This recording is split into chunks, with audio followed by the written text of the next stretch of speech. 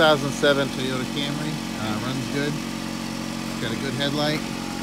Front bumper's junk. Headlight junk on this side. Hood's junk. Fender's junk.